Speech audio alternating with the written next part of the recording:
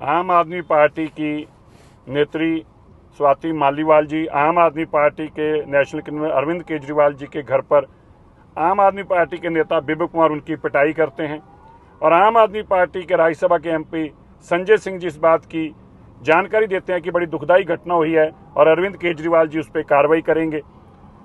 अरविंद केजरीवाल जी ने तो कार्रवाई क्या करनी थी? मैं पहले दिन से कहता था, आम आदमी पार्टी अरविंद केजरीवाल जी, बेवकूफ़ पे कार्रवाई नहीं कर सकते।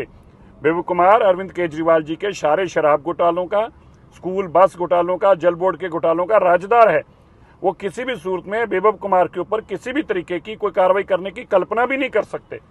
और अब जब उनके खिलाफ मुकदमा दर्ज होता है, अरविंद केजरीवाल जी अभी तक भी स्वाति मालीवाल के केस पे कोई सफ़ाई नहीं देते, नहीं बताते क्यों उसने लड़ाई झगड़ा हुआ, क्यों मारपीट हुई क्या था बीच में? क्या लेन देन था जिसके कारण झगड़ा हुआ?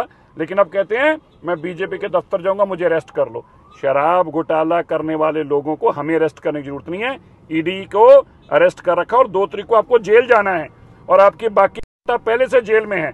ये नोटंकी करनी बंद करो और अगर प्रदर्शन ही करना है तो स्वाति मालीवाल के घर के बाहर करो, जो कहती है कि तुमने उसको पिटवाया है और बिबब ने उसको पीटा है।